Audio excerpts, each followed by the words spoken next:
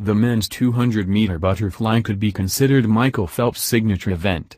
It's the only event in which he has competed at all five of his Olympic Games.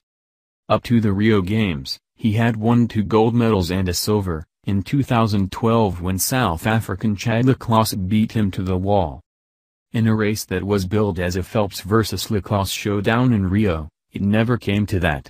Phelps took over the lead at the 100, and le Clos could only look over the lane line in desperation as Phelps swam away with the win.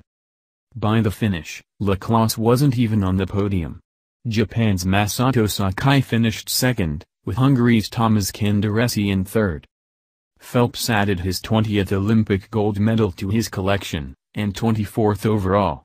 It was also his 14th Olympic medal won in an individual event, tying him with Russian Larisa Latynina who won 14 individual Olympic medals in gymnastics in the 1960s. But Phelps is a man who swims for time, not for medals. He owns the eight fastest times in the 200 fly, including the world record of 1 51.51, set at the 2009 World Championships. He hasn't been able to come close to that time since polyurethane suits were banned by FINA, the sport's governing body. Phelps swam the 200 fly in 1 53.36, beating Sakai by 0.04 seconds.